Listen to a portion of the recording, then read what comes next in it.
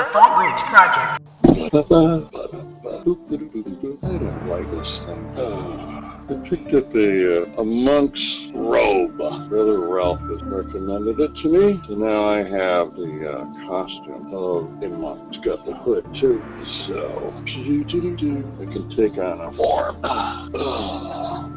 I'm eating a couple of raspberries. Mmm, mmm, mmm. Well, uh, there seems to be certain events and things that happen within this reality that I have been deprived from seeing what produced it. But it is absolutely amazing to wake up and realize that you are on a ride, ride, ride. That you do have, the only thing you have is awareness. Wow. Awareness. There it is. Look at that. There is a hand. Wow. And so, what I want to know, you like hanging out with me? Uh, let's learn to do nothing.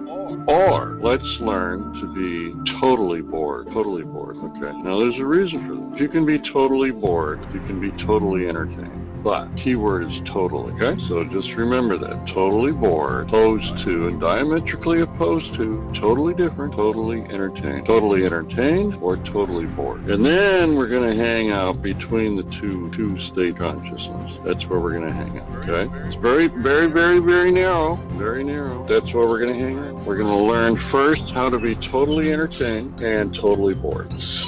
You've got to have those two down pat. Once you learn to be totally entertained and totally bored, then you can find out what is between the two. Bring the two together so they cancel each other out. It's like bringing matter and antimatter together. What happens then, Daddy?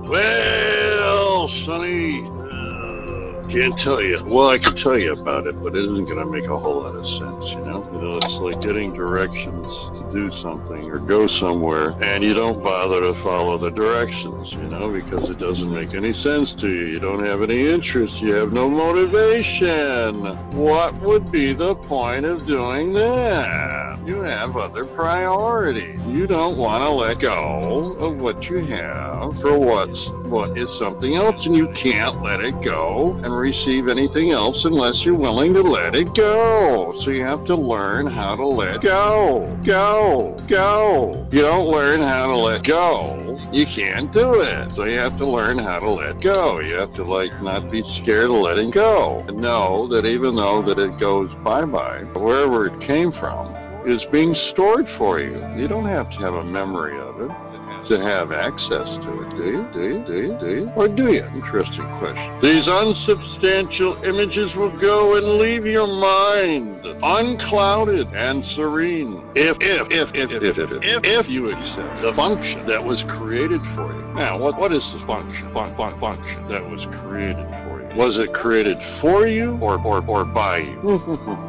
Mm, ah, blah, blah, blah, blah, blah, blah. In lovely contrast, certain as the sun's return each morning to dispel the night, your truly given function stands out clear and wholly unambiguous.